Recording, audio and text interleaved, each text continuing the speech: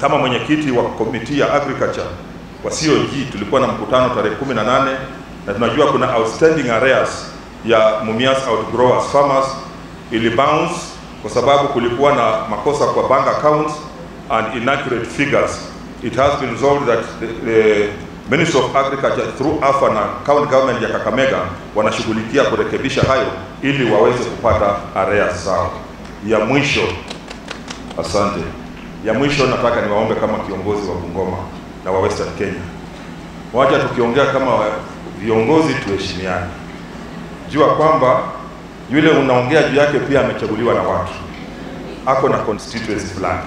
Kwa hivyo nawaomba kwa heshima, kama one of you, let us respect ourselves, ama hata tukisema kitu, let us use a language that demonstrates some respect to each other, especially when we have visitors from other parts of the country. Watu wa Kakamega mmesikia?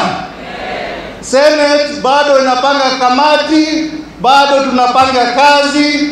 Wakati ikifika ya kutoa pesa kupitia kwa mpango wa Senate, tutawaambia tumetoa pesa. Kwa hivyo hiyo ni uongo ambayo tumezoea kutoka kwa wenzetu wa Kenya Kwanza. Nao jamaa wa Kenya Kwanza, we want to tell them, please settle down and work for Kenyans. Stop giving us promise after promise. Sasa walituambia kwamba watafanya mambo ya 100 days. Sasa wameanza excuses. Oh, mtupatie one year. Oh, Uhuru Kenyatta aliharibu Kenya. Oh, tunalaumu Raila. Watu wa Mumias mnakubali haya? We want the president and your government to deliver on your promises. Hapa Western walituambia 30% ya serikali itakuwa ni Waluya. Mumeona mko hapo 30%?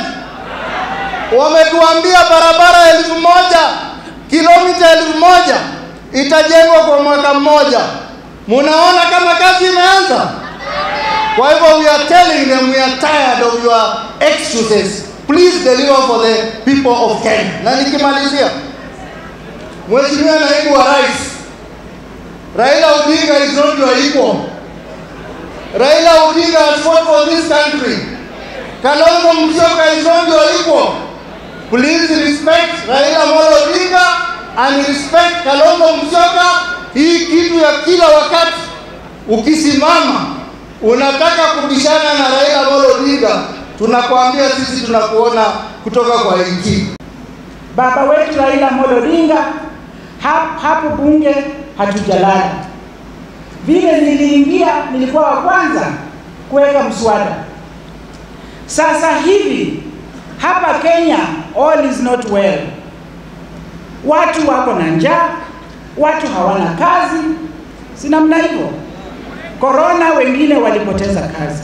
Ndio baba, following your manifesto ya kujali mtu wa chini, nikaweka mswada ya kusema ya kwamba mtoto wote wa shule apate chakula. Watoto wetu wanaenda shule, wanaanguka kwa parade, wana faint.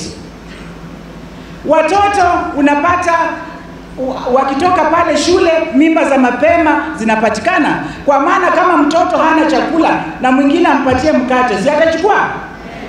Kwa hivyo mimi nashukuru hawa wabunge wamependa hiyo mswada sana, wote wakiwa hapa walisapoti hiyo mswada, tukaenda mpaka saa tatu ya usiku, na sisi tunasema hata baba, if you are not there we are there, na sisi tuko na wewe mundu mundu, na hatubanduki.